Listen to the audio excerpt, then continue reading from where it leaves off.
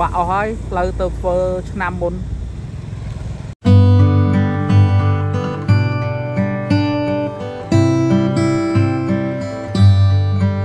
បាទជំរាបសួរបងប្អូនទាំងអស់គ្នាបាទនេះគឺជាទិដ្ឋភាពយើងមើលពីខាងលើបងប្អូនបាទគឺជាវត្តគោបងប្អូនថ្ងៃនេះគឺប្លែករំមែនទែនបងប្អូនដោយសារតែមានច្រាំងបាក់ផងហើយនឹង ចង់ផ្ដិតយករូបភាពបាទខាងវត្តគោខាងវត្តតមឹមអីចឹងណាបងប្អូនបាទដោយសារតែអត់ធ្លាប់បានថតចែកជូនបងប្អូនទស្សនាសោះបងប្អូនបាទឥឡូវនេះយើងមកទស្សនាតាមរមាត់ស្ទឹងទាំងអស់គ្នាបងប្អូនបាទឃើញថាខាងវត្តគោនេះវត្តចិត្តចិត្តគ្នាមែនទែនបងប្អូនបាទមានវត្តគោមានវត្តតមឹមយើងងាកមកខាងក្រុងបាត់ដំបងនេះវិញគឺមានវត្តសំពៅហើយនិងវត្តកដឹងបងប្អូនអញ្ចឹងណានិយាយស្ពានទៅតេះភ្លើងបុរាណដែលសម័យបារាំងហ្នឹងបងប្អូនបាទអញ្ចឹងបងប្អូនអញ្ជើញទស្សនាទាំងអស់គ្នាបងប្អូនបាទ គឺថាថ្ងៃនេះគឺច្រាំងបាក់ខ្លាំងមែនទែនដោយសារថាទឹកស្រកទៅវិញអញ្ចឹងច្រាំងបាក់បងប្អូនបាទច្រាំងបាក់នេះក៏ក្នុងគម្រោងថាត្រូវជួសជុលឡើងវិញដែរបងប្អូនបាទក្នុងក្រុងឥឡូវក៏ច្រាំងបាក់ច្រើនដែរបងប្អូនឃើញតែទឹកស្រកទៅបាក់គ្រប់កន្លែងហ្មងណាដោយសារតែច្រាំងហ្នឹងគឺធ្វើហើយមិនតាន់និយាយរួមតមកមួយឆ្នាំផងបងប្អូនបាទគឺបាក់អស់រលីងតែម្ដងណាបងប្អូនបាទ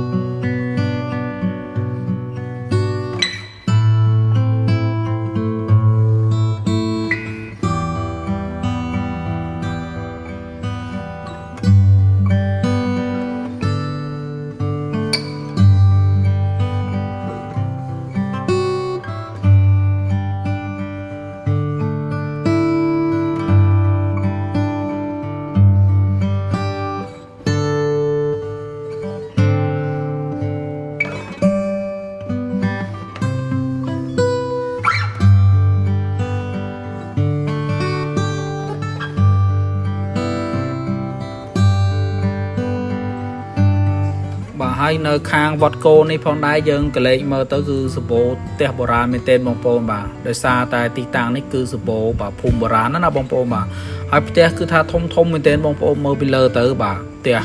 ស្អាតស្អាតណាស់បងប្អូនបាទហើយទីតាំងនេះដែរគឺជាទីតាំងដែលល្បីផ្ទះបុរាណវត្តគោភូមិវត្តគោហ្នឹងគឺនៅម្ដុំនឹងដែរបងប្អូនបាទខ្ញុំអត់ដឹងថានៅនឹងសបោខ្លាំងយ៉ាងនេះបងប្អូនដល់យើងមើលពីលើទៅបើដឹងថាសបោផ្ទះបុរាណមែនទែនបងប្អូន មើលទៅគឺដបូលសុទ្ធតែដបូលពីមុនទាំងអស់បងប្អូនមកក្បឿងខ្មៅខ្មៅមើលទៅបាទ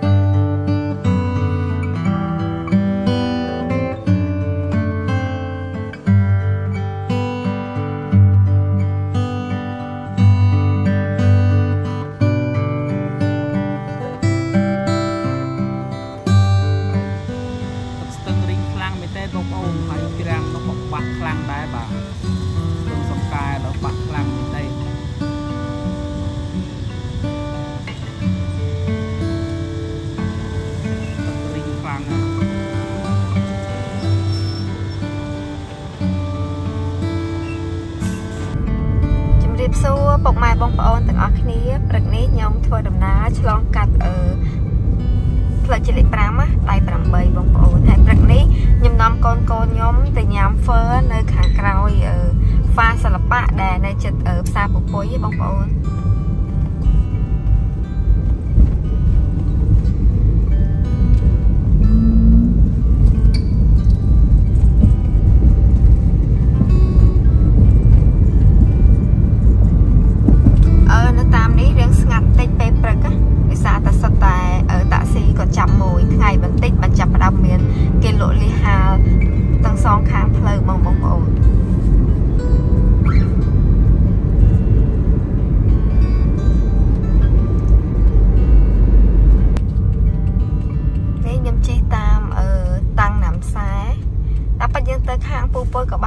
ตาจิตามนี่เลือนเฉียง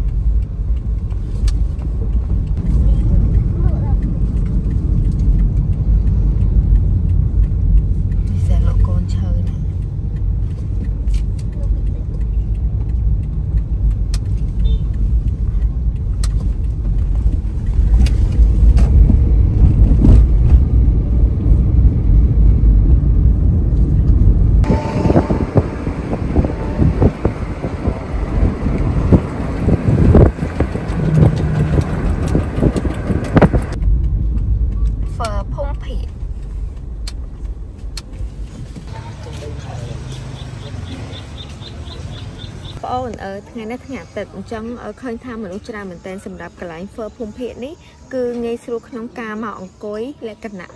គ្រួសារធំក៏ត្រូវដែរដោយសារតែកន្លែងក៏ស្រឡះល្អទីតាំងចតឡានចតម៉ូតូក៏រឹតតែស្រួលទៀតហើយនៅទីតាំងនេះមិនត្រឹមតែមានហ្វឺធម្មតាហ្វឺពិសេសកាទៀវខកោមីខកោគឺមានប្រភេទបាយសាច់មាន់ជាតិអីដែរមកអីណាលីកំងអី កាទៀវមកបងចាំសុំចានម្លែកមួយផងចាបងចា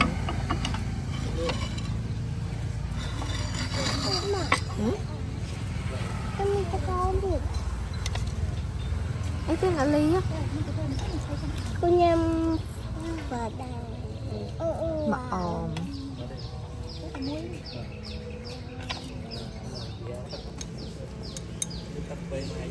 បើអាពិសេសគេហ្នឹងបងប្អូនអើយខ្ញុំញ៉ាំមិនអស់ទេសាច់គឺគេដប់ឲ្យយើងហ្មង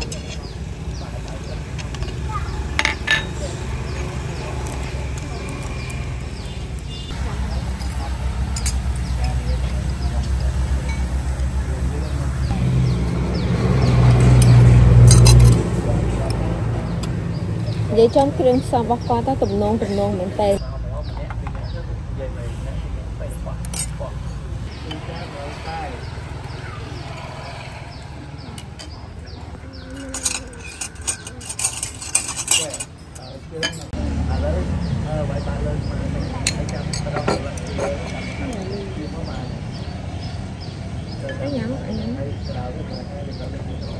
ញុំឃើញគ្រឿងផ្សំនេះទំនងដល់ហើយនេះចង់ញ៉ាំហ្វឺដែរឥឡូវណាលីញ៉ាំបាត់មួយយ៉ាញ៉ាំទេ ដែរញ៉ាំអត់ថ្ងៃនេះចេញចេញទៅវិញកាត់សក់ចេញលឺហ៎ណាគូកាត់តែសក់មកអឺវ៉ាវនៅនេះទឹកស៊ុបឆ្ងាញ់លីឆ្ងាញ់អត់ឆ្ងាញ់ហីឆ្ងាញ់គេធ្វើដៃមិន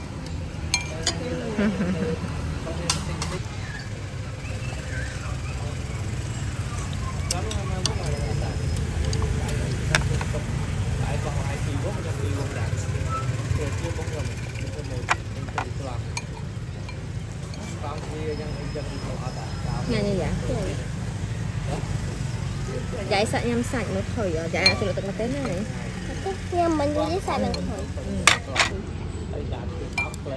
ថុយអត់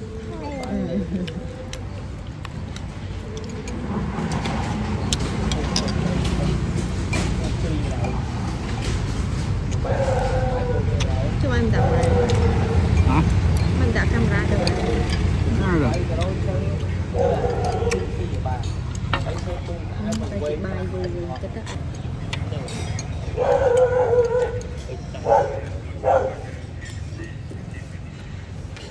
ស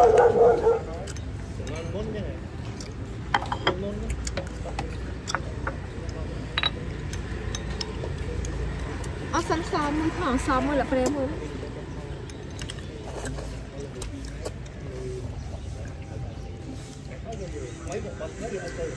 នៅទីតាំងហ្វឺគាត់នេះបងប្អូនទឹកស៊ុបគាត់ឆ្ងាញ់ហ៎អឺទឹកស៊ុបធ្វើពីសាច់គោក៏ប៉ុន្តែអត់វាអត់ធំគោមែនទេបងអត់ធំគោឲ្យយើងចេញមកតលាន់ទេ ឈ្ងុយជីងហ្នឹងហើយឈ្ងុយជេឈ្ងុយម្អមមានពោះគោហើយក៏បន្ថែមជាមួយនឹងកភួនអាសាច់ខ្ចីអីហ្នឹងក៏មានលិចអាស្លាកបើញ៉ាំអត់ដាច់ទៅញ៉ាំមកកូនញ៉ាំដាច់តែណាលីកាហ្វេកន្លែងលេខមានពេកនៅលើអត់មានថ្មិញមិនបានសាច់គេស្បាត់ទេញ៉ាំកើតញ៉ាំ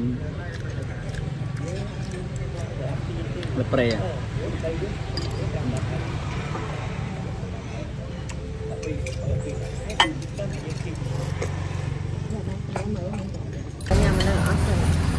បងប្អូននេះបាយសាច់ជ្រូក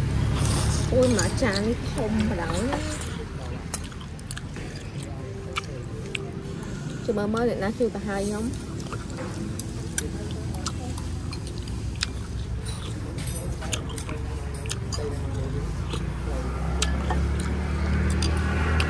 ទឹកហ្វឺគាត់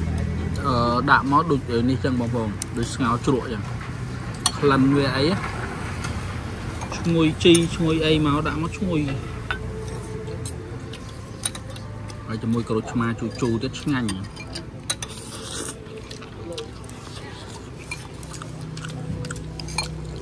ណាលីឡើងបាត់មកឆឹងហើយឆ្ងាញ់ទេលីអឺដល់ខលណា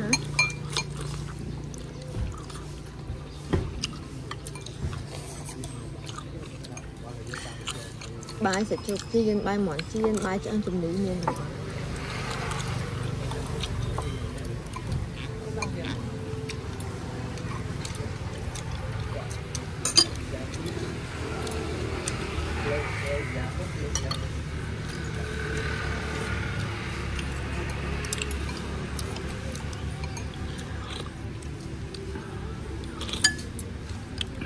នរំទឹកហ្វឺគាត់ឆត់មកអត់មានរសជាតិថា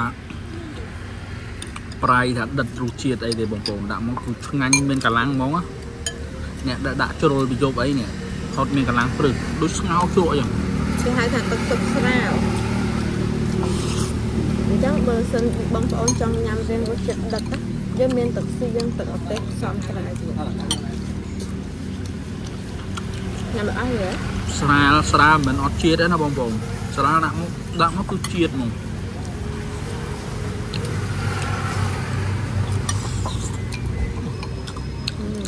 បាយនៅកន្លែងគាត់ឆ្ងាញ់ហើយសាច់ច្រើនទៀតអូខេលីងាញ់ហ៎អូបន្ទិញនេះឆ្ងាញ់ណាស់